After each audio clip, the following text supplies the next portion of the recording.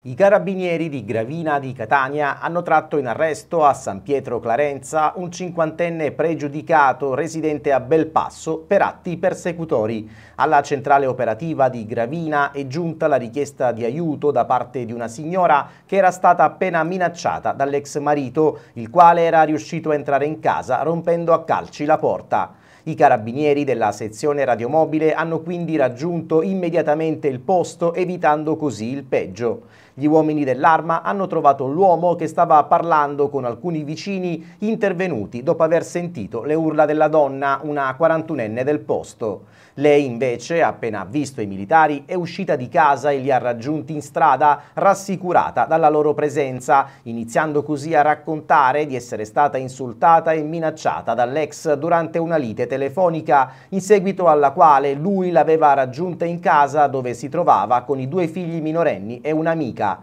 La vittima e la testimone hanno riferito ai carabinieri che l'uomo aveva rotto la porta d'ingresso dell'abitazione a calci con il chiaro intento di aggredire la ex, gridando apri questa porta che ti scanno, ti ammazzo, ti scippo la testa. A quel punto la donna si era rifugiata in un'altra stanza, chiusa da un cancelletto in ferro, mentre i figli tentavano di calmare il padre senza però riuscirci, poiché il cinquantenne, in preda a una furia incontenibile, non potendo raggiungere la signora, ha iniziato a rompere oggetti in casa, scaraventando a terra anche il televisore della cucina. Sentendosi ormai al sicuro, grazie alla presenza dei militari dell'arma, la signora ha iniziato a sfogarsi, raccontando la sua storia che durava ormai da sei anni, ovvero da quando la coppia si era separata e lui era andato a vivere in un'altra abitazione. Il marito aveva sempre cercato di intromettersi nella sua vita, appostandosi nei pressi della casa coniugale per accertarsi delle sue frequentazioni e creandole problemi per la gestione dei figli, insultandola e minacciandola continuamente.